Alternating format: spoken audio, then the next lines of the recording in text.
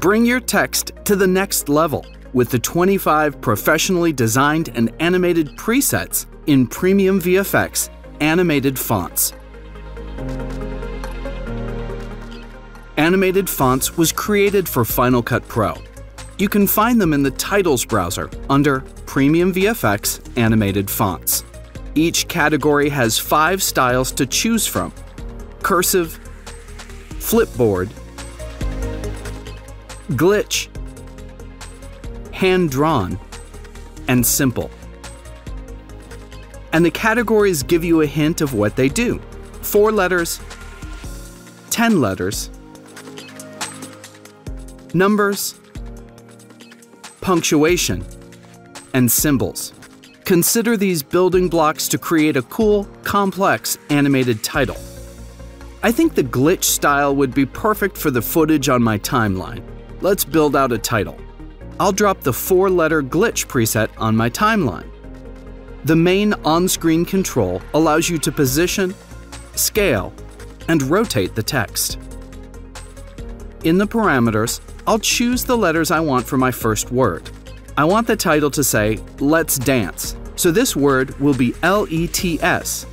On screen, I'll move the S slightly to make room for an apostrophe I'll add in a minute.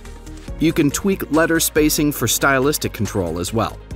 Let's go through the parameters. There is a color scheme called Three Colors.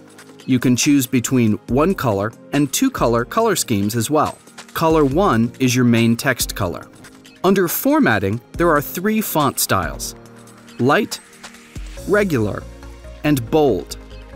Plus, you can adjust the tracking as well. There is a built in mask effect if you'd like your text to punch out of a solid background and show video footage through. Change the color, animation style, and size if you'd rather it be a text box instead of full screen. Finally, Premium VFX usually includes additional text styles like 3D extrude, drop shadow, long shadow, and glow, so you can dial in a look that you like. That was so easy, let's build out the other elements. I'll drop the punctuation glitch preset on the timeline. There is a built-in apostrophe, but I'll choose the comma and position it higher within our first word. I'll make stylization adjustments like I did with the first word. Plus, I'll stagger it a bit on the timeline so it animates in the right place. Finally, let's go with the 10 letter hand drawn preset for the word dance.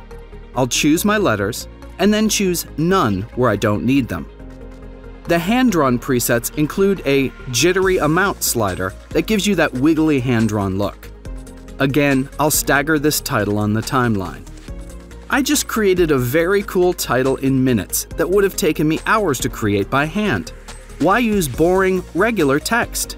Use premium VFX animated fonts to really elevate your projects.